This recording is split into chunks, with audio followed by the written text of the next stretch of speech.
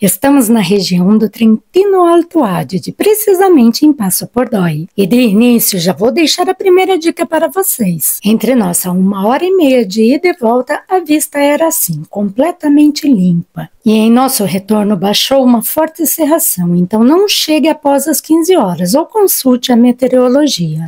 E nossa expectativa por aqui era conhecer o Refúgio Fredarola, sim, aquele bem conhecido, mas este eu deixo para mostrar logo mais. A trilha por aqui é bem tranquila, tem um pouco de subida, porém não íngreme. Não tem custo para fazer esse percurso, venha com calçados e roupas confortáveis, a vista aqui é surreal. Nós viemos ali debaixo de onde vocês estão vendo, deixamos o carro ali e subimos. E lembra quando eu dei a primeira dica? Então voltamos ao início, olha ela aí. Essa imagem é do nosso retorno retorno. E olha a serração aí, completamente densa e fria, em pleno outubro. Mas como não ligamos antes, fomos surpresas com esta realidade. Mas que valeu a pena por causa desta vista, que vamos deixar registrado de presente para vocês. Espero que tenham gostado deste nosso perrengue chique. Ah, e não esqueça de salvar essa dica e deixar o seu like. Até a próxima, tchau!